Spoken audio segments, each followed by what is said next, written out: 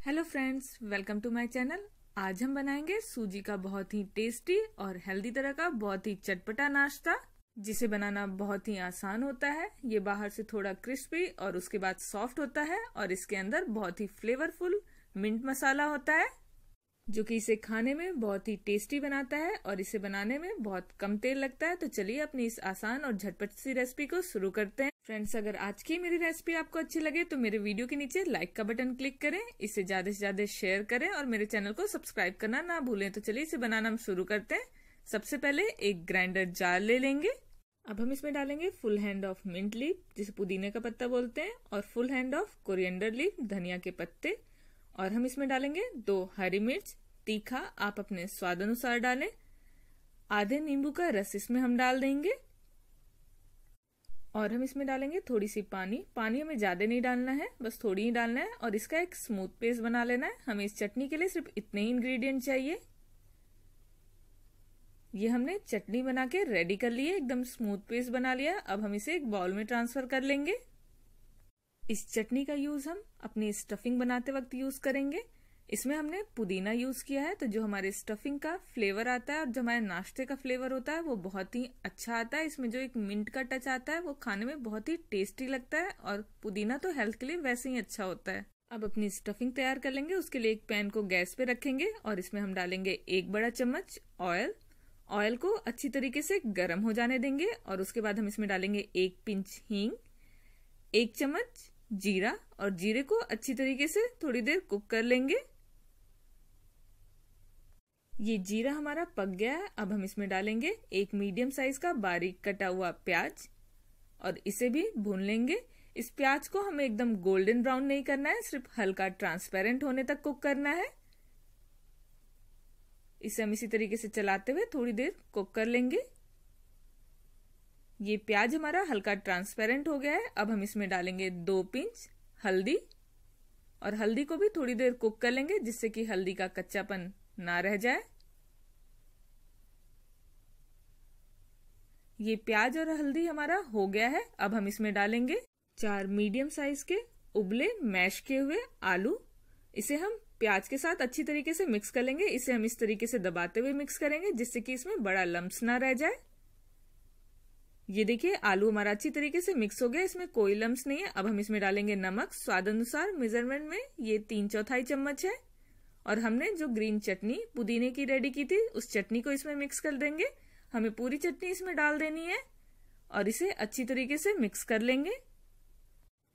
चटनी को आलू में हमने अच्छी तरीके से मिक्स कर दिया है। अब हम इसमें डालेंगे एक चौथाई चम्मच पेपर पाउडर। ये ऑप्शनल है, बट इससे इसमें बहुत अच्छा फ्लेवर आता है तो आप इसे ज़रूर डालें। अब हम इसे भी अच्छी तरीके से आलू के साथ मिक्स कर लेंगे और इसे लगभग एक मिनट के करीब कुक कर लेंगे, जिससे कि आलू में सारे मसालों का फ्लेवर अच्छी तरीके से आ जाए। ये एक मिनट इसे मैंने कुक कर लिया है। अब हम गैस को बंद कर देंगे और स्टफिंग को ठंडा होने देंगे। इसे एक प्लेट में निकाल लेंगे।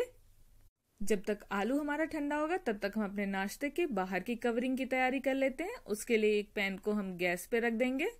फ्लेम को मीडियम टू हाई रखेंगे और इसमें हम डालेंगे दो कप पानी और थोड़ी सी नमक। ये लगभग हाफ़ टेबल स्पून है। और इसे अच्छी तरीके से मिक्स कर लेंगे और पानी में अच्छी तरीके से उबाल आ जाने देंगे।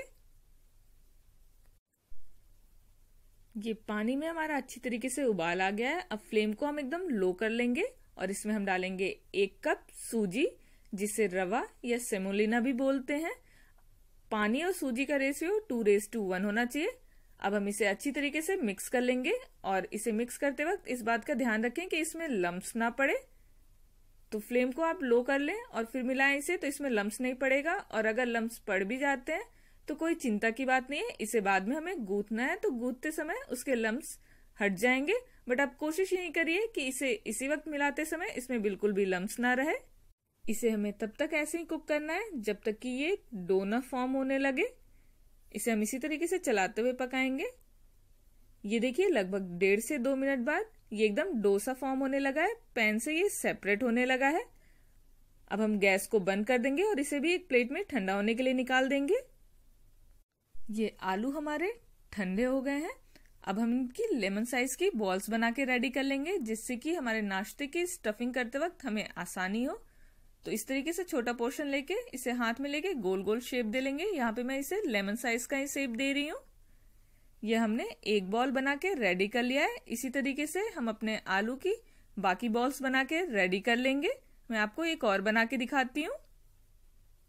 ये हमने दूसरा भी बना के रेडी कर लिया। इसी तरीके से बाकी बना लेंगे। ये हमने आलू की सारी बॉल्स बना के रेडी कर ली है। और हमारी सूजी भी ठंडी हो गई है तो हम सूजी को अच्छी तरीके से गूथ लेंगे। सबसे पहले हाथों को ऑयल से ग्रीस कर लेंगे और इसे इस तरीके से करते हुए इसका एक अच्छा सा डो बना लेंगे। इसे अच्छी तरीके से गूथ लेंगे। जितना अच्छे तरीके से सूजी को हम गूथेंगे, हमारा नाश्ता उतना अच्छा बनेगा। ये देखिए ये हमने डो बना के रेडी कर लिया है। अब इसकी भी हम एक बॉल्स बना लेंगे। हमने आलू की लेमन साइज़ की बॉल्स बनाई है। सूजी की हमें उससे थोड़ी बड़ी बॉल्स बनानी है। तो इस तरीके से पोर्शन लेके इसको गोल गोल हम बना लेंगे। और इसे गोल बनाने के बाद इस तरीके से हल्का फ्लैट शेप दे लेंगे। इसी तरीके से बाकी भी हम बना के रेडी कर लेंगे।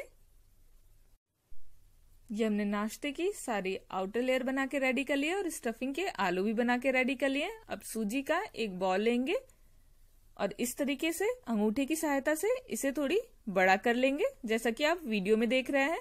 इस तरीके से किनारों से अंगूठे पे प्रेस करते हुए और इसमें हम एक बॉल डालेंगे और इसे कवर कर देंगे। इस तरीके से आप अंगूठे से स्टफिंग को प्रेस करते जाएँ। और इसे दूसरे हाथ से ऊपर की तरफ़ मोड़ते जाएँ। जैसे हम आलू का पराठा या गोभी का पराठा भर के उसे बंद करते हैं, उसी तरीके से इसे करना है। ये देखिए, ये इस तरीके से हमने ऊपर तक बंद कर लिया। अब हम इसे इस तरीके से फ्लैग टिक्की का शेप दे लेंगे। ये हमने एक नाश्ता बना के रेडी कर लिया है। इसी तरीके से हम अपना बाकी बना के रेडी कर लेंगे। ये हमने अपने नाश्ते की स्टफिंग बना के रेडी कर लिए अब हम इन्हें कुक कर लेंगे, उसके लिए एक तवा ले लेंगे और इसे ऑयल से हल्का चिकना कर लेंगे। इसे कुक करने के लिए हमें ज़्यादा ऑयल की ज़रूरत नहीं है, लगभग एक टेबल स्पून इसे हमें डीप फ्राई नहीं करना है, सिर्फ़ हल्का सेलो फ्राई करना है। ये तवे को अच्छी तरीके से चिकना कर लेंगे। और ये अपनी टिक्कियाँ, जो सूजी की टिक्कियाँ हमने तैयार की हैं, इसे तवे पे रख देंगे। और मीडियम फ्लेम पे दोनों साइड से क्रिस्पी होने तक पकाएँगे। ये लगभग दो मिनट बाद मैं इसे दूसरी साइड पलट दूँगी और अलटते पलटते हुए दोनों साइड से एकदम क्रिस्पी होने तक इसे पका लेंगे। आप इस नाश्ते को मॉर्निंग ब्रेकफास्ट में या अपने बच्चों के लंच बॉक्स में बना के दे सकते हैं। ये बहुत ही टेस्टी लगता है, आपके बच्चों को बहुत पसंद आएगा और घर में भी सबको बहुत पसंद आएगा। ये देखिए, ये हमारा दोनों साइड से एकदम क्रिस्पी हो गया है। ये हमारा नाश्ता बनके रेडी है। मैं आपको पास से दिखाती हूँ कि इसकी आउटर लेयर कितनी क्रिस्पी बन के आई है। इसी तरीके से हम बाकी सारे नाश्ते को भी बना के रेडी कर लेंगे। ये देखिए, ये सूजी का हमारा टेस्टी और क्रिस्पी नाश्ता बनके रेडी है। मैं आपको एक तोड़ के दिखाती हूँ कि ये बाहर से कितना क्रिस्पी और अंदर से कितना सॉफ्ट है और इसे खाते वक्त जो मुँह में मिंट का फ्लेवर आता है वो बहुत ही यमी लगता है। और इस नाश्ते की सबसे खास बात कि ये ठंडा होने के बाद भी बहुत टेस्टी लगता है। आप इस सिंपल और टेस्टी रेसिपी को ज़रूर ट्राई करिएगा। अगर अब तक आपने मेरे चैनल को सब्सक्राइब नहीं किया है तो नीचे लिखे सब्सक्राइब बटन पर क्लिक करके मेरे चैनल को सब्सक्राइब कर लें। बगल में बने बेल आइकन को ज़रूर प्रेस करें, जिससे कि मेरे आगे आने वाली वीडियो की नोटिफिकेशन आपको मिलती रहे। हम फिर मिलेंगे एक नई इजी एंड क्विक रेसिपी के साथ। तब तक के लिए बाय